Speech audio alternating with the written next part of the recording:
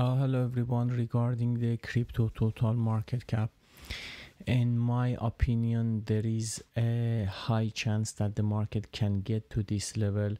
937 roughly in this box. And from here we should start looking for buy opportunities uh, we don't have a deep correction during the wave so the wave 4 can be deeper.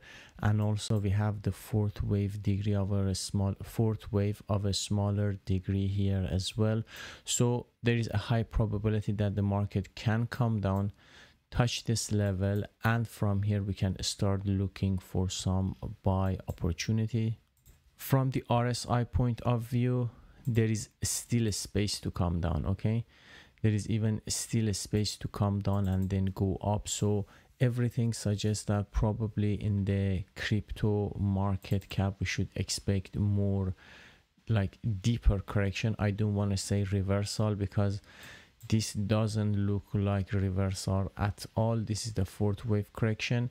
And then from here we have to go up. Thanks for watching and have a good day